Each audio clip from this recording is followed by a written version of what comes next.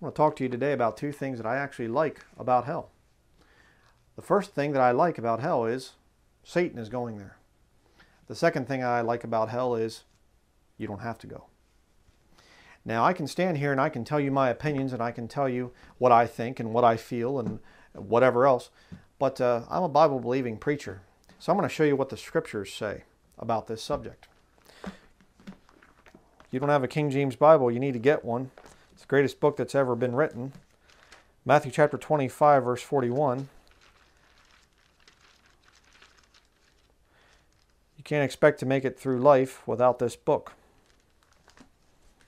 Unless you're a complete fool and reject what God wrote. Matthew chapter 25, verse 41. Then shall he say also unto them on the left hand, Depart from me, ye cursed, into everlasting fire, prepared for the devil and his angels everlasting fire. They say, no, it's just you just burn up. Everlasting fire. Oh, it's the grave. You don't have fire in a grave.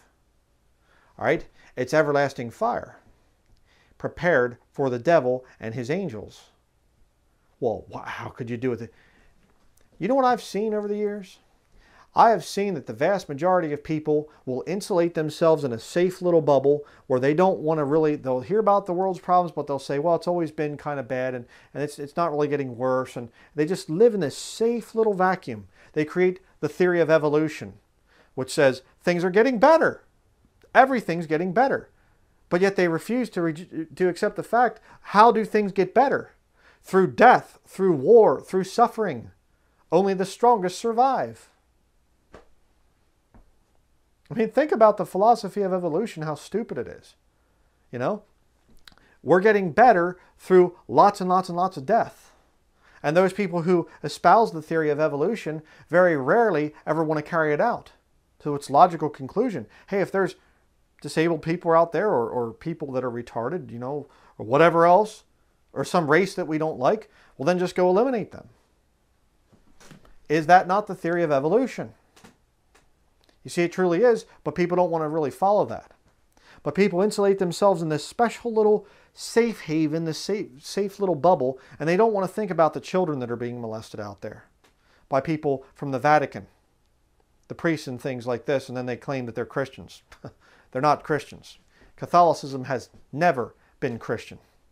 All right? Read the King James Bible. There's nothing in there about the Catholic Church at all. There's no popes, there's no sacraments, there's no Eucharist, there's no nuns, there's no monks, no cathedrals to be built. None of that stuff. Hmm. But you're too close minded to read it, aren't you? It's a scary book. And oh, you can find all kinds of contradictions in it. Sure, you can. Mm-hmm. We'll talk more about that as we continue. But my point is, people don't want to think about how bad this world really is, how bad reality really is. They don't want to think about that. So when you say, hey, God the Father created a place for Satan and his angels, Satan is the one who causes all this evil. God's created a place for him to burn forever. Most people say, oh, well, I just don't think that he would deserve it because they're in their safe little bubble, you see. I just don't think that people, you know, I don't think anybody would deserve to go to hell and burn forever. Just stay in your safe little bubble there. You're such a good person. You know, you wouldn't burn if there's a real if there's a god and and everything if the bible really is true well you wouldn't burn because you're such a fine individual. I don't think so. 2 corinthians chapter 4 verse 4 says in whom the god of this world hath blinded the minds of them which believe not lest the light of the glorious gospel of christ who is the image of god should shine unto them. Satan has blinded your eyes. Satan blinded my eyes for many many years till i was 26 years old. I was a false convert. I was raised in church I was on my way to hell. A hell-bound, professing Christian. Yeah. Satan had my eyes blinded very well. But I woke up. Matthew chapter 23. Why is there so much evil in the world? Why, you know, wouldn't God stop it? Well, let's look about when God manifest in the flesh was walking around on the earth and let's see what he had to say. Matthew chapter 23 beginning in verse 29. This is Jesus speaking in this portion of Scripture I'm reading to you. Woe unto you, scribes and Pharisees, hypocrites, because ye build the tombs of the prophets and garnish the sepulchres of the righteous, and say, If we had been in the days of our fathers, we would not have been partakers with them in the blood of the prophets. Stop there for a minute. These are religious leaders that Jesus is rebuking. Keep that in mind. Verse 31 Wherefore ye be witnesses unto yourselves that ye are the children of them which killed the prophets. Fill ye up then the measure of your fathers. Ye serpents, ye generation of vipers, how can ye escape the damnation of hell? That is one of the most significant statements in the entire Bible. God manifest in the flesh. The Lord Jesus Christ. He is God. And He is there and He is saying, How can ye escape the damnation of hell? The Bible elsewhere says, By Him all things consist. By the Lord Jesus Christ, all things consist by him. He's the source of life. You realize he could have said to these religious people, he could have said, Believe in me. And overthrew their will, and all of a sudden they, You're God in the flesh. Oh, and, and they would have changed. But God, when he was here on this earth, walking around, he refused to overthrow man's free will. You see, God the Father, the reason there's so much evil and everything else out there is because Satan is the one who's behind it all. But God is not going to overthrow people's free will. You have an opportunity to accept or reject Him. You can do whatever you want in this life. Whatever you want. The Lord's not going to come in and say, No, uh, uh, don't do I'm going to force you to come to heaven. Not going to happen. John chapter 8.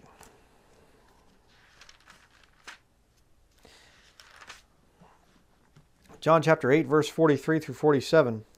Why do ye not understand my speech, even because ye cannot hear my word? Ye are of your father the devil, and the lusts of your father ye will do. He was a murderer from the beginning, and abode not in the truth, because there is no truth in him. When he speaketh a lie, he speaketh of his own, for he is a liar and the father of it.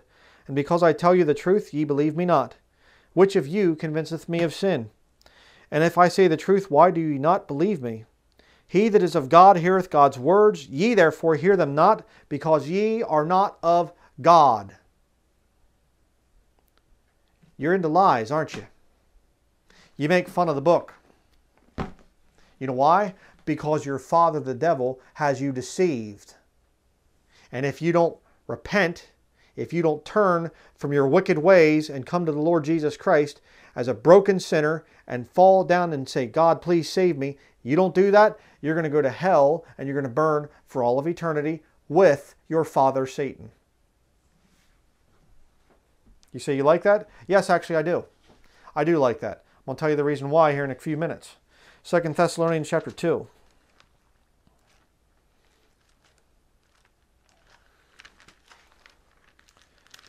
Second Thessalonians chapter 2. So I, I just, I, I can't believe it. You know, somebody would preach this kind of a thing in, in, in our modern enlightened age. Keep watching. Second Thessalonians chapter 2, verse 10 through 12. And with all deceivable, deceivableness of unrighteousness in them that perish, because they receive not the love of the truth, that they might be saved. And for this cause God shall send them strong delusion that they should believe a lie, that they all might be damned who believed not the truth, but had pleasure in unrighteousness. God, I, God wouldn't send anybody to hell. He will send you, if you want to be deceived, if you hate the truth of God's word, if you hate it, God will send you strong delusion so that you will believe the lies that you currently, your life philosophies and things. God will allow you to be in that thing. Why? You reject Him. You know, I heard a statement an old preacher made the one time. He said, The worst thing God can do to you is to let you have your way. Amen to that. Absolutely. I don't want to hear about the truth. I don't want to hear about the Bible. I want to shut this thing off and whatever else. Okay, God will send you a strong delusion so that you'll believe a lie that you all might be damned. Psalm 9, verse 17.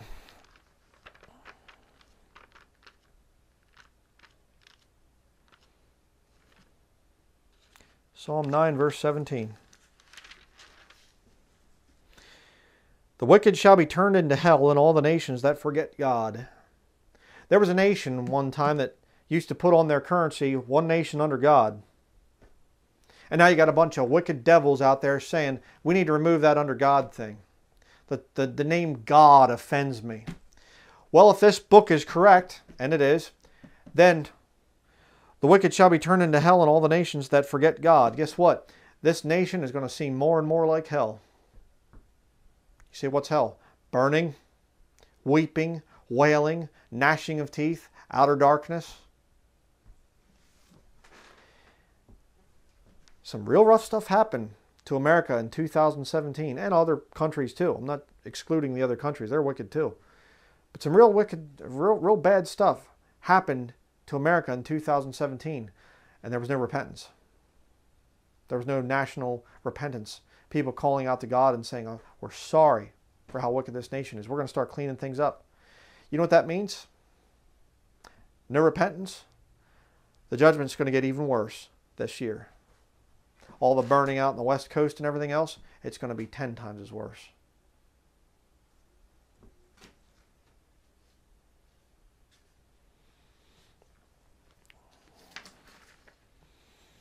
2 Timothy chapter 4.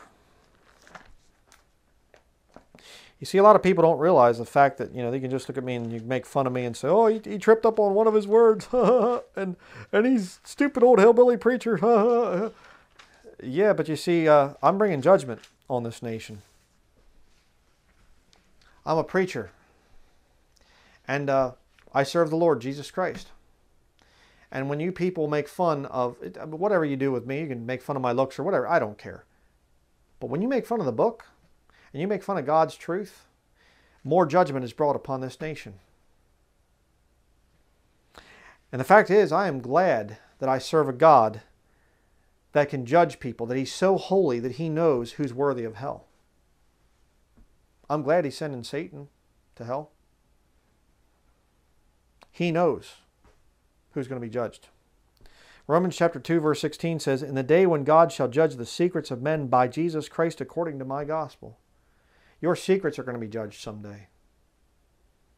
So I, I don't know, but this this is all just ridiculous. Okay. Gamble. See where it gets you. Matthew chapter 12 verse 36 through 37 says, "But I say unto you that every idle word that men shall speak, they shall give account thereof in the day of judgment." For by thy words thou shalt be justified, and by thy words thou shalt be condemned. Make fun of this. Make fun of this video. Make fun of this ministry. Make fun of this blessed book, this King James Bible. Make fun of it. And you know what? Someday you will stand before a holy, righteous, all powerful God. And the Bible says every mouth is going to be stopped. You're going to be scared to death because you realize that he's going to be condemning you to hell and you're going to be there burning for all of eternity.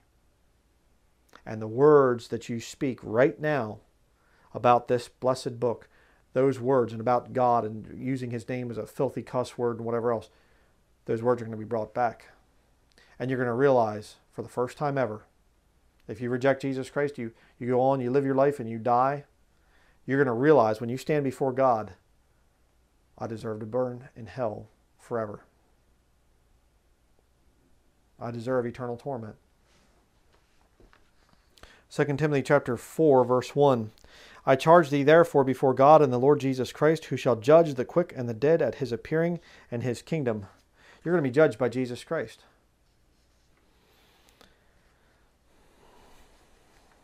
say, well, not me. Turn to Romans chapter 14. Not me. I'm not going to be judged. I don't care. I'm just going to I'm going to mouth off God and and whatever else. Mm-hmm. Romans chapter 14 verse 11. For it is written, As I live, saith the Lord, every knee shall bow to me, and every tongue shall confess to God. So then every one of us shall give account of himself to God. Every one of us is going to give account of himself to God. You're going to bow before him. I find that interesting. Hebrews chapter 9 verse 27 says, And as it is appointed unto men once to die, but after this, the judgment. Death is sure. They keep trying to put it off and transhumanism and all this other stuff like this. You're going to die. And after you die, you're going to be judged. But let's, that was the bad news. Now let's get into the good news. All right? What's the good news? Hell, bad news, I'll say it this way hell is real. The bad news is that hell is real and people go there. It's, you know, prepared for the devil and his angels. But if you follow the devil, if he's your father, you're going to go there as well. But the good news is you don't have to go there. Matthew chapter 10, verse 28. See, people need to understand some things about God. Matthew chapter 10, verse 28 says, And fear not them which kill the body, but are, are not able to kill the soul, but rather fear him which is able to destroy both soul and body in hell. Well, I'm afraid of what my friends are going to say. I'm, I, I don't know if it's Christian stuff. I don't know. What would my wife think? Or what would. Uh huh. You're not being really, truly afraid of God. You say, well, it's more of a reverential respect. No, it's fear. It's fear. You're going to see in the future what God is going to do to this country. And it is going to be cruel. It is going to be vicious. Why?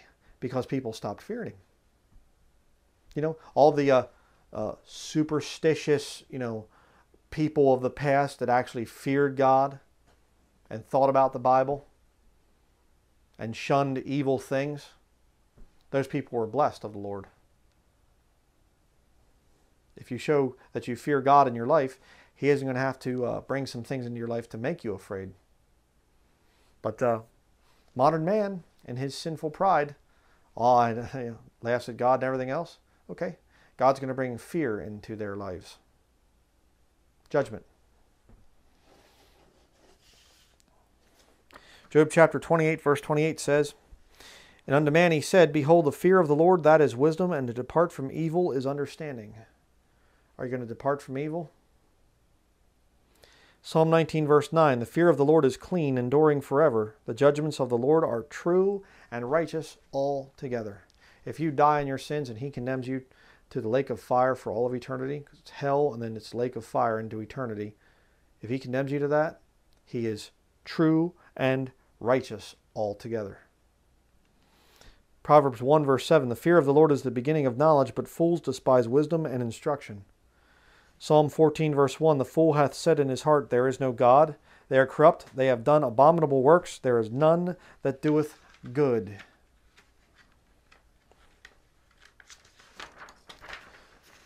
Proverbs chapter 15 verse 24 says, The way of life is above to the wise, that he may depart from hell beneath. Why not be wise in this life? Why not come to the end of yourself? I'm a good person. No, you're not. No, you're not. I want to show you those verses here as we continue. I'm going to show you what God thinks about you and how you can get out of hell for all of eternity, how He'll save you. Romans chapter 3. This is not a deep, real big study on this issue. I'm just trying to warn people. Romans chapter 3, verse 10 through 12. As it is written, There is none righteous, no, not one. There is none that understandeth, there is none that seeketh after God. They are all gone out of the way, they are together become unprofitable. There is none that doeth good, no, not one. Well, I'm a good person. The Bible says you're not. Well, I'm not so bad. The Bible says you are. Come to the end of yourself. Realize you deserve to go to hell. Wow. That's the problem. Romans chapter 3 verse 23 says, For all have sinned and come short of the glory of God. All have sinned. See, what about you, Bryan? I've sinned. Sure, I've sinned. But I took the cure, you see. What is the cure? Romans chapter 5 verse 6. For when we were yet without strength, in due time Christ died for the ungodly. For scarcely for a righteous man will one die, yet peradventure for a good man some would even dare to die. But God commendeth his love toward us in that while we were yet sinners, Christ died for us. Much more than being now justified by his blood, we shall be saved from wrath through him. For if when we were enemies, we were reconciled to God by the death of his Son, much more, being reconciled, we shall be saved by his life. Salvation is Jesus dying on the cross, taking your sins on himself. He dies on the cross, he sheds his blood. His blood washes your sins completely away. The blood that he shed. It's not that when you get saved that blood comes out of heaven washes you or something. No, it's not that. Physically, I'm talking about. What it's talking about in this passage is you're saved by his blood. You're saved by his death. He died. He shed his blood. Did you ever hear, oh, this was won by blood, sweat, and tears? Where do you think they got that from? When you get saved, your salvation cost Almighty God blood, sweat, and tears. He takes your sinful life and he suffers for it. He takes the punishment for sin and he gives you his righteousness, his imputed righteousness. You can't earn that. Mark chapter 2, verse 17 says, When Jesus heard it, he saith unto them, They that are whole have no need of the physician, but they that are sick. I came not to call the righteous, but sinners to repentance. Are you sick of sin? Are you sick of the life that you have? Or you just want a little bit more sin? You just want a little bit more of the filth without God being there, the big bully, to tell you, hey, stop doing that. That's the reason people don't get saved. Isn't that stupid? Well, I just want a little bit more alcohol. I sure do enjoy going out and getting drunk. I just want a little bit more sex perversion. I sure do enjoy all the manipulation and all the broken relationships and the sexually transmitted diseases and all the other wonderful things which, which come with sexual promiscuity. Boy, it sure is fun. I just want the drugs. I just want the wickedness on television. I just want to watch and, and hear profanity and all the other sins and things that are out there. I'm not quite ready yet to get cleaned up. I'm not quite ready yet to have God come into my life and tell me what to do. If you die in that state, you deserve to go to hell.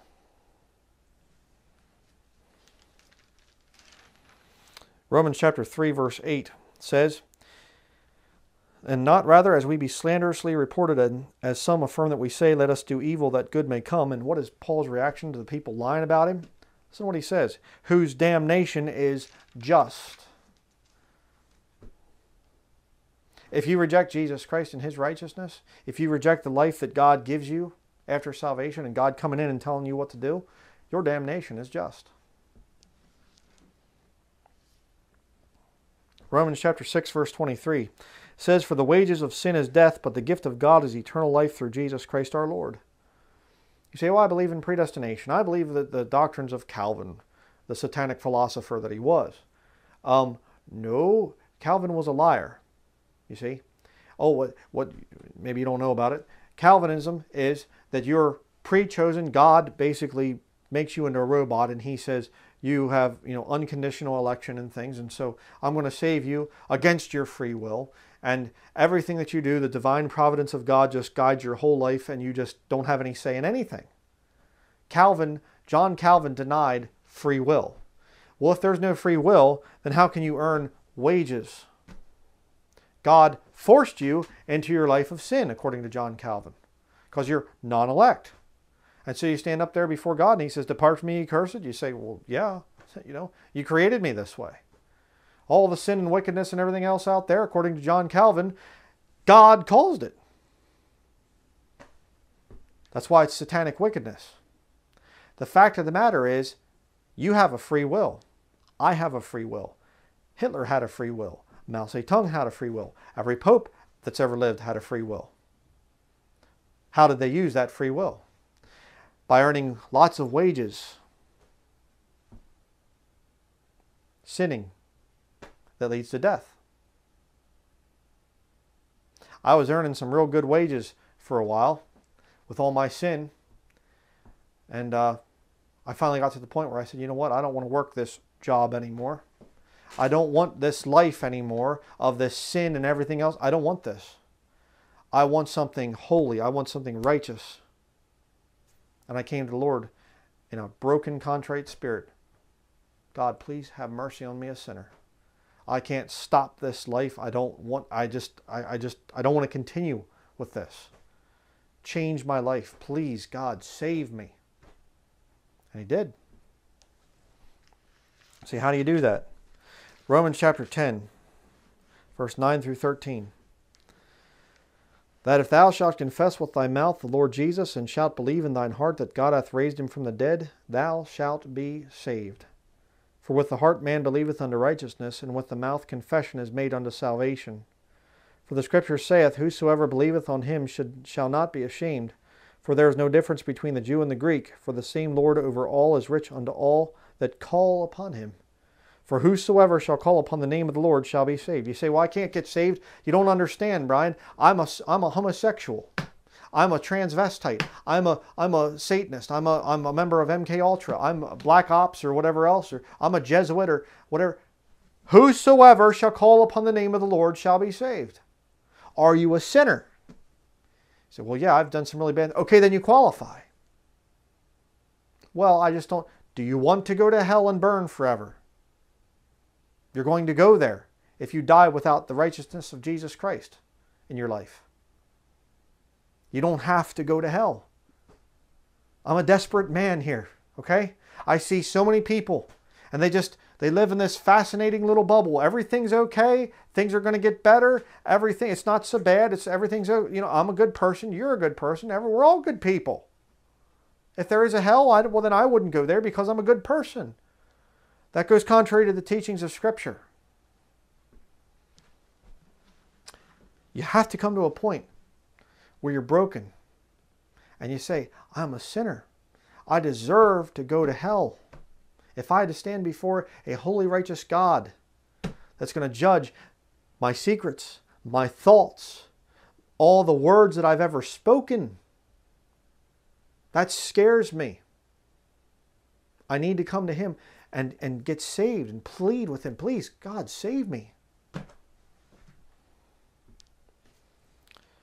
Finally, let's go to 1 John chapter 5.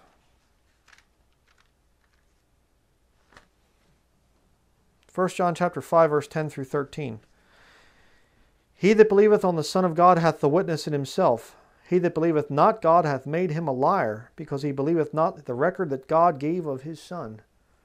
And this is the record that, that God hath given to us eternal life, and this life is in his Son. He that hath the Son hath life, and he that hath not the Son of God hath not life. These things have I written unto you that believe on the name of the Son of God, that ye may know that ye have eternal life, and that ye may believe on the name of the Son of God. Do you have the Son of God?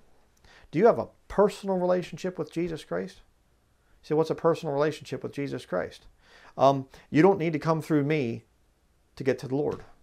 I'm not going to have the comment section. It's disabled down there. Why? Because you don't need to have other people and things and whatever. You need to deal with God one on one. You say, well, I'm going to have to go to the Vatican and go to St. Peter's Basilica and crawl on my knees and go kiss a statue's foot or something like this. That's going to land you in hell. Personal relationship with Jesus Christ. One on one. You come to God and you say, God, I don't know if you're real or not. I, I have no idea. Please show me the truth. I want to know the truth. Wouldn't it be nice to have an assurance of salvation? Do you believe the record? Say, well, I want to, I'm going to find Jesus apart from the Bible. Not going to happen. Not going to happen. Why? Because he gave you a written record telling you about Jesus Christ. You can look in this book here and you can check the words that I've said to you. If I just give you my opinions and things in my denominational slant and the, what my church council said and whatever else, um, that doesn't mean anything. That's just my opinions. I haven't given you my opinions today. I've given you what the scriptures say.